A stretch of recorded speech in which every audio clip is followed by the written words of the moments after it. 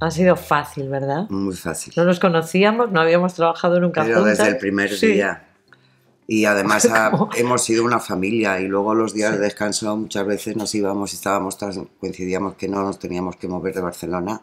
Hemos salido a comer y a cenar. Sí. Y ha habido muchas horas compartidas Muchas, y, muchas. Y mucho frío, y mucho veces. frío y Otras mucho veces todo. mucho calor. mucho calor. Sí, porque rodamos en una época que pillamos un poco de frío y un poco de calor. Sí.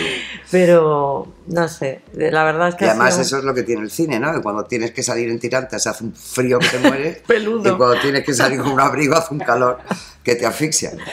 Pero ha sido fácil, ha sido fácil, ha sido fácil, bonito, sí. sí. Y divertido, ha habido mucho humor Y el ahí. en la- en la director serie, también sí. ha tenido mucha paciencia, el autor nos ha hecho sí. los papeles yo creo que muy a medida, todo el equipo ha sido maravilloso, desde los Mm. cámaras, las script, eh, desde el que ponía el micrófono hasta que el del don se enchufaba, ¿no? las niñas de la pértiga, en fin, todos. Sí, ha habido un buen equipo, sí. Sí. Me encanta porque lo preguntáis todos y eso es una cosa que me apasiona porque así animáis Eso. a los productores a que cojan mujeres que estamos todavía muy bien y que tenemos muchas cosas que contar. Bueno, yo creo que estamos en un momento de cambio, ¿eh? Sí. Yo creo que estamos, que, que cada vez se están, se están abriendo la- el, el espectro, ¿no? De, de edades de mujeres y de qué historias contamos de esas edades, porque antes era la mujer de o no sé qué, y yo creo que cada vez más cuentan la vida de ella, de esta persona. Que de además son las mujeres de una edad como la nuestra, es decir, somos mujeres libres, algunas y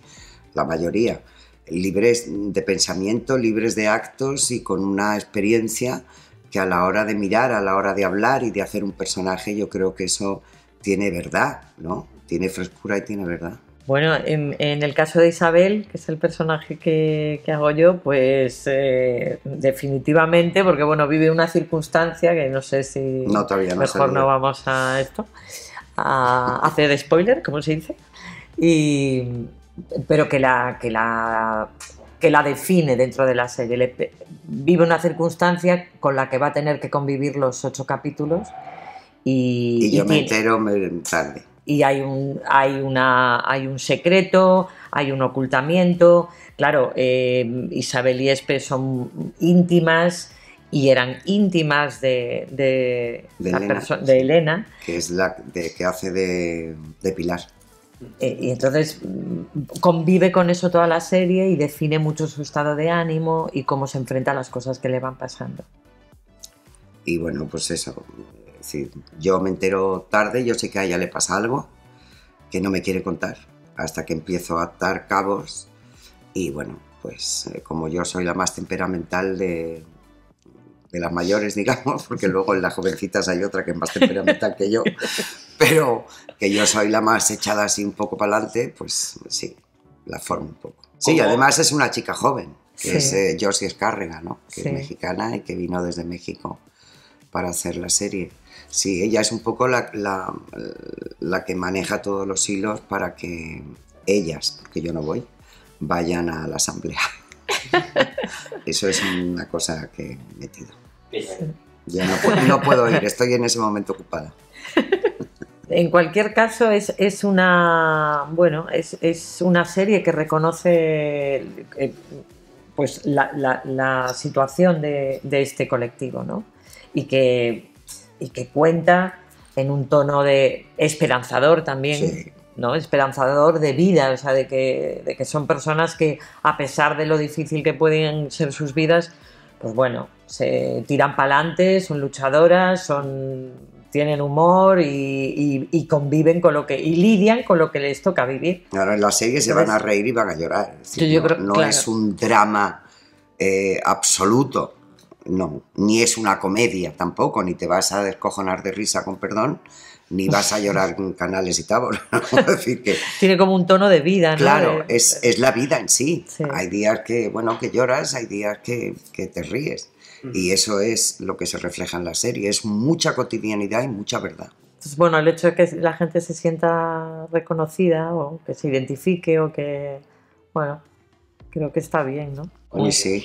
Hay situaciones, Sí, ella tiene... ella, ella te puede contar más. No, yo no puedo contar más, no puedo hacer spoiler. Y ella tampoco, pero a ella le dan caña. Hay un personaje, sí, hay un huésped que le da mucha caña, pobrecita.